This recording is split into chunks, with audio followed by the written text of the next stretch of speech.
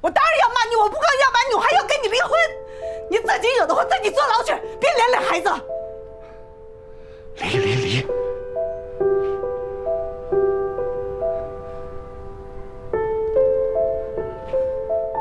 离婚好啊，这办法好啊！我现在就写离婚协议，现在就写，马上就写。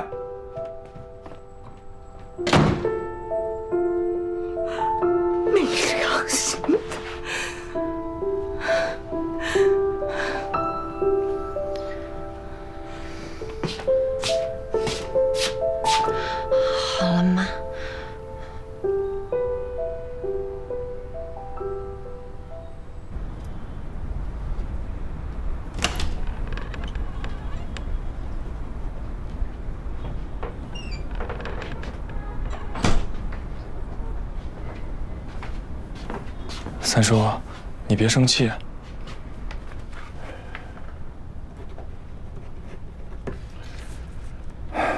玉娟，我草拟了离婚协议，一会儿你拿出去帮我打印，我今天就签字。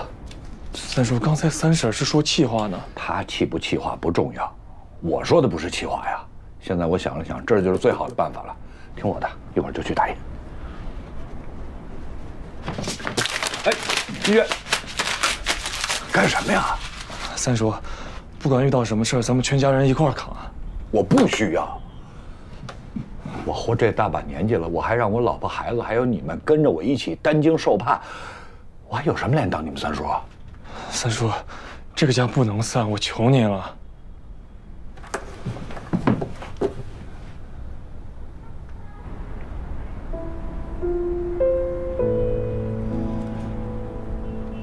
当年我跟你三婶结婚的时候，比你现在可能还年轻点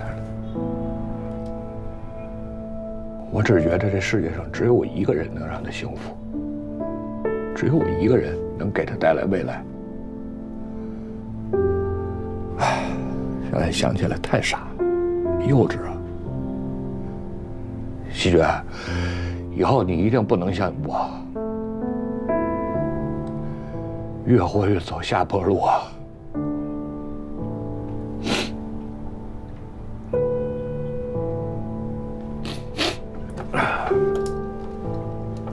哎，对了，玉娟，东尼打电话说晚上回来有事跟我商量，什么事？凭什么？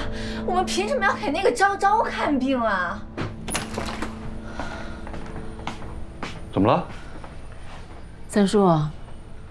你那个合伙人许辉的女儿，她有很严重的病。病？生命跟我们家有什么关系啊？我们家现在这样，都是因为许辉。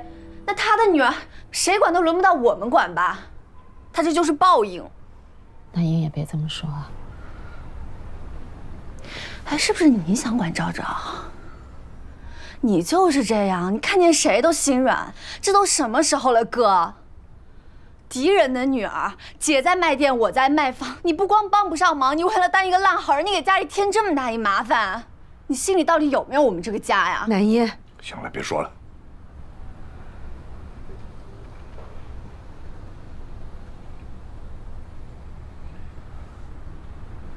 我表个态，我是当事人，你们都没有发言权。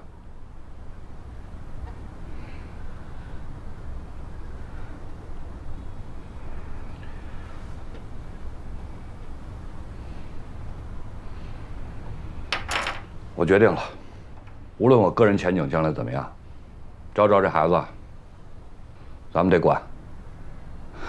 凭什么呀？人命关天，没有凭什么。你别说了。那就算管，也得先让许辉把那赃款交出来。那如果许辉一口咬死就是没钱，难道你能眼睁睁的看着这孩子去死掉吗？他在那儿撒谎呢。就算他撒谎，但许辉是许辉，孩子是孩子，没看见也就算了，看见了，我就不能视而不见。钱从哪儿来？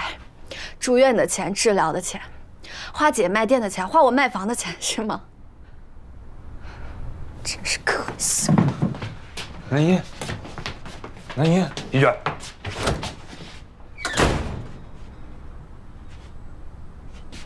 三叔，三婶，对不起。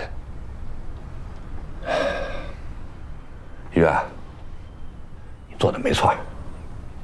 啊，你是我们养大的孩子。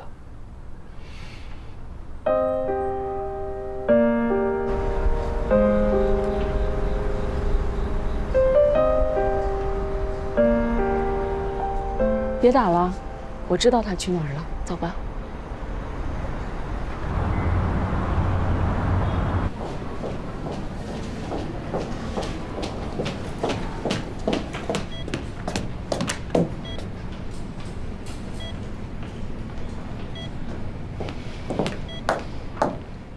昭昭是吧？谁啊？